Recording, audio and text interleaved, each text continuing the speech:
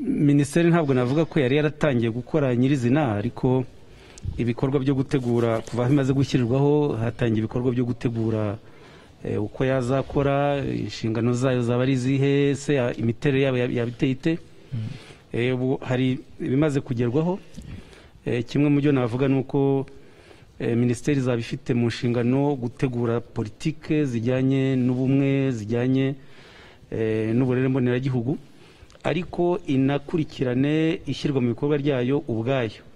Bivuze ko ubundi hari za minisiteri zimwe na zimwe zi- zitegura politike hanyuma hakagira izindi nzego zizishamikiyeho zishyira mu bikorwa izo politike. Iyacu rero uko biteganyijwe minisiteri y'ubumwe bw'abanyarwanda inshingano mboneragihugu kubera ni nshya ariko n'u- n'uburemere bw'inshingano ifite izagira ububasha n'ubushobozi bwo gutegura politike ariko yo ubwayo inazishyira mu bikorwa.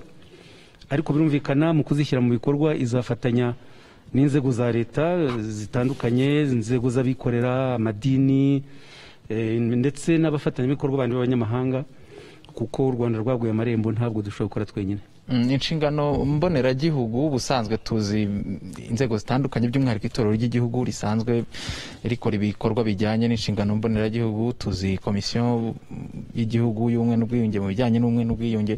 Izi nzego zose eh, zari zifite aho zihuriye n'inshingano z'iyi minisiteri nshya ah, zo igiteganyijwe n'iki kuko tubwiye ko ah, minisiteri ije guhuriza hamwe inshingano z'izo nzego zose. Hazasuzumwa igikwiye gukorwa n'uburyo byagenda. Njye nasobanuraga muri rusange uko bitekerezwa ubu ngubu. Eh, ariko eh, icy'ingenzi ni ukuvuga ko eh, hazashyirwa imbaraga kureba uburyo inzego n'ubundi zari zifite ibyo zagezeho. Eh, haba mu bijyanye no kurwanya jenoside n'ingengabitekerezo yayo gukumira jenoside ubumwe n'ubwiyunge bw'abanyarwanda kwigisha guhugura indangagaciro z'umuco nyarwanda n'ibindi hari inzego bigezeho. Eh, ariko hakenewe intera ndende hakenewe imbaraga nyinshi mu buryo bwo guhuza mu buryo bwo kugira ngo ahagaragara intege nkeya icyo cyuho dushobore kukirenga. Ariko nanone eh, kugira ngo ubufatanye burusheho gutanga umusaruro uko byari- bimeze Eh, ubufatanye ubwo ndavuga ubufatanye bw'abanyarwanda ubwabo ariko noneho n'amahanga. Muzi ko buriya hari ibihugu kugira ngo igihugu gikomere iyo ubisuzumye usanga harimo ibintu bibiri by'ingenzi. Usanga icya mbere ari ugushimangira amateka. Amateka y'icyo gihugu dufashe ibihugu nka leta z'ubumwe za amerika ubuyapani ubukoreya. Eh, noneho kugira amateka amwe abantu biyumvamo akabafasha kubaka igihugu no kugiteza imbere. Icya kabiri gishimangira eh, gituma igihugu gikomera kigatera imbere imyaka myinshi ni umuco. Kugira umuco abanyagihugu bibonamo bashyigikiye bakunda baharanira eh, icyo na cyo ki- kirafasha cyane. Ubwo ndamwumvisha ikintu nshaka kumvikanisha ko kimwe mu byo numva bi- bikenewe tuzakomeza gushyiramo imbaraga ni ukureba uburyo amateka y'u rwanda yatumye n'ubundi ubumwe bw'abanyarwanda busenyuka kuko bufite icyasenyuye. Ibyo byasenyuye rero ni ngombwa yuko ayo mateka asuzumwa akandikwa akamenyekana uko azwi akigishwa agasobanurwa ku buryo buhagije eh, tukagira amateka y'igihugu koko.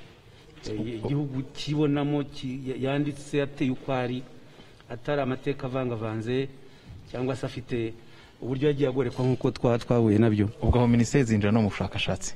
Eh, ubushakashatsi ni kimwe mu cyiciro tuzakora cyane. Mm, ndagira ngo nsoreze ku uh, kijyanye n'abanyarwanda b'ingeri zinyuranye by'umwihariko abanyarwanda bari mu mahanga. Uh, imikorere yanyu no mu gushyira mu bikorwa izi gahunda na politike no kuzitegura abanyarwanda cyangwa se intara ya gatandatu y'u rwanda yo uh, murayiteganyiriza iki nka minisiteri y'ubumwe bw'abanyarwanda n'inshingano mboneragihugu?